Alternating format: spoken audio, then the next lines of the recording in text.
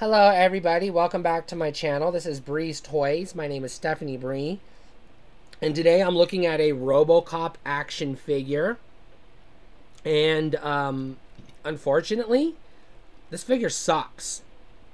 I do not know what toy line it's from. I don't see any markings on it anywhere. I just can't find any markings.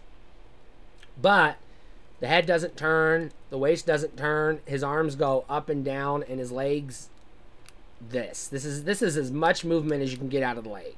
They don't even ah, real stiff. He doesn't bend at the knee, there's no foot movement, nothing. This is a piece of shit toy. Not going in the collection.